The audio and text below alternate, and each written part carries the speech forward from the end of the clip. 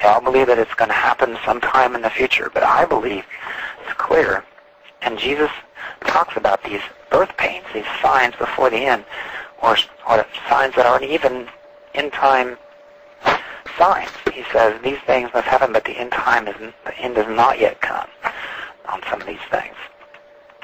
I believe that these this uh, these seals were opened back in the first century and are occurring concurrently, and again, that's based on an understanding of Revelation 4 and 5 happening in the first century, not something that happens in the future. As you, as you might know, Revelation 4 and 5, a lot of the prophecy models believe that the rapture, the future rapture that hasn't yet happened, takes place in Revelation chapter 4. They think when John is um, hears hears a trumpet and is told to come up hither to be shown things that will happen hereafter.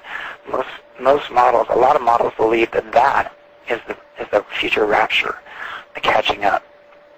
But um, as you can read in my model, it's I see that quite differently. So. well, the opening of the sixth seal. Then we're obviously not in um, the sixth seal yet. The sixth seal will that bring this uh, global catastrophe that you're referring to in your book, or is it the seventh seal? No, it is actually the sixth seal. Okay. It's actually the sixth seal.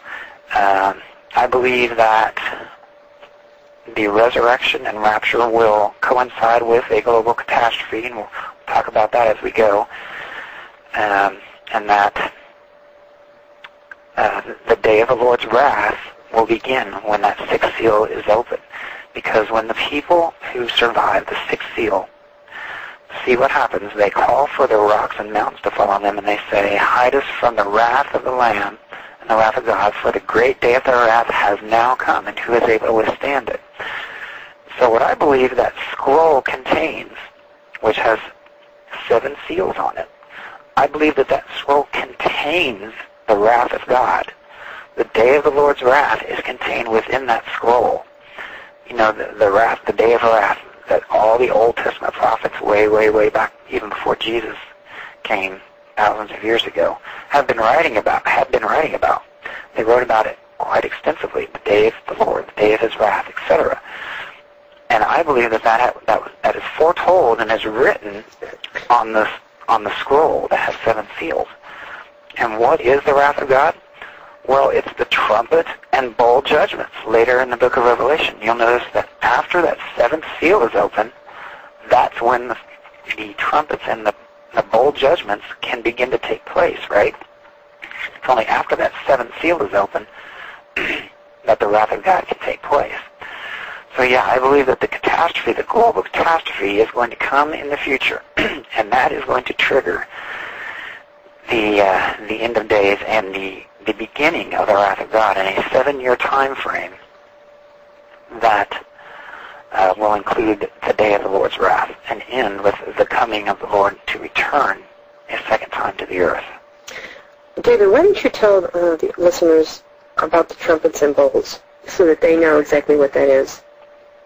Okay, well, I don't go into a lot of detail actually on the trumpets and bowls in my books because I really try to stick to the time leading up to the resurrection and the rapture, and then, um, you know, the, a, a, few of the events that are described immediately after that. But well, just a basic understanding. You know. Yeah, basic understanding of the trumpets, uh, trumpets and bowls again is that the trumpets and the bowl judgments cannot begin until the seventh seal is open. Okay, that seventh seal must be open. It's not like well, the first seal, the first trumpet, and the first bowl are all the same thing.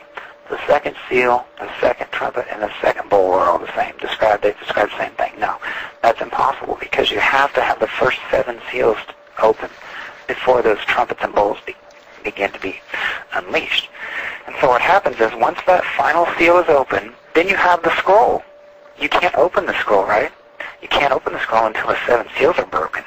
So once that seven seal is broken, then you can unroll that scroll, right, which is written on the front and on the back. And you can, and the Lord's wrath can begin to be poured out. It can begin to be seen. And so what happens is there's seven angels that are first given seven trumpets. And um, your readers or the, your listeners can probably read that in Revelation in detail, but it's some pretty incredible things that take place on the earth. Um, some of it is, is symbolic, I'm sure, but that's why it's really, really hard for me to understand what's going on with those trumpets and bowls. But I think a lot of it can be taken literally, and, and some of it has to be taken symbolically. But it seems to me that there's a, an, an opening of the spirit world that takes place when that last seal is opened and when the wrath of the Lord takes place because there in Revelation chapter 9, there's an opening at the bottomless pit and these creatures that come out of the bottomless pit. And so, you know, again, I believe there is some symbolism, but I, I also believe that literally the, the spirit world will be given greater entrance into our three-dimensional world than, than ever before, and they'll be able to torment people, as just as it says in uh, Revelation chapter 9, which is the fifth trumpet. Um, and so, you know, after all of these strange things with the first with the first six trumpets take place, then there's a seventh trumpet, and that seventh trumpet allows the seven bowls judgments to be poured out. And those are also some pretty incredible things that take place involving uh, sores that come on people that take the mark of the beast, um, earthquakes, uh, all kinds of pestilence, all kinds of strange things, and uh, finally ends with the uh, the day of the Lord's wrath uh, coming to a completion and the return of the Lord immediately after that last bowl. So this should take place beginning at the opening of the sixth seal. That's right. Okay, and at that point of the sixth seal, is that when the uh, catching up occurs? Yes, yes, that's what I believe. Okay. And, and, for me, the key to understanding that again was was when I went through Peter Goodgame's um, analysis. It was understanding what is the connection between what happens in the sixth seal and what we know about the rapture and the resurrection. Perhaps it would be a good time to talk about that. Yeah, what will happen when the resurrection occurs? I know you lay it out in a, like a three-stage um, explanation in your book. Yeah. And I think that you did a very thorough job. It's excellent. So maybe you want to tell our listeners uh, about that and about yeah. what you uh, think will happen when the resurrection occurs. Right, right. Well, again, the sixth seal, it begins with a huge earthquake, and that's, that's kind of where I started my study.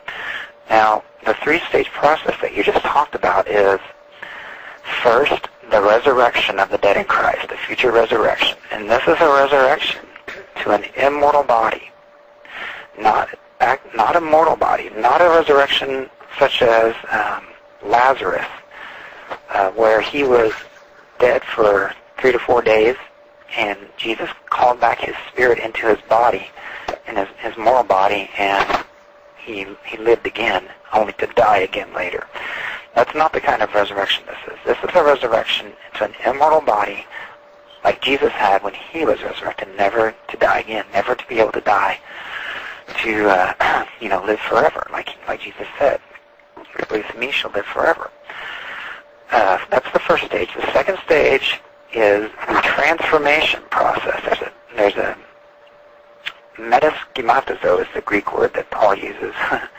um, it's, it's a changing of the bodily structure into the same bodily structure as Jesus' glorified body. And Philippians 3.21 is a verse to read about that. And I'm just going to read that one really quick.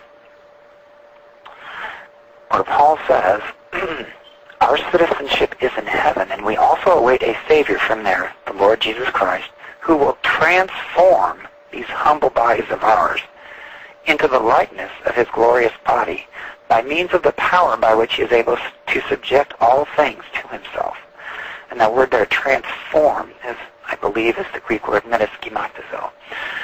Kind of a, metamorphosis, you know, is, is a good English word for that.